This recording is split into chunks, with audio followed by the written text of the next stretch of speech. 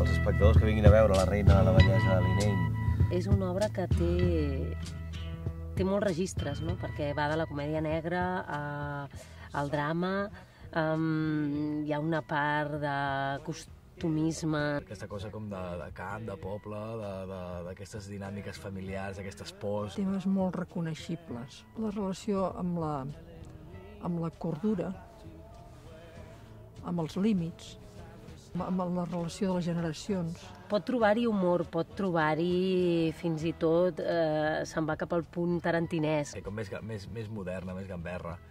amb molt sentit de l'humor i, i alhora dura, jo crec que hi ha molta duresa. Que es permetin durant una estona viatjar a la història i transitar pel, pel món tràgic, còmic i delirantment irlandès del Martin McDonagh i passar una bona estona.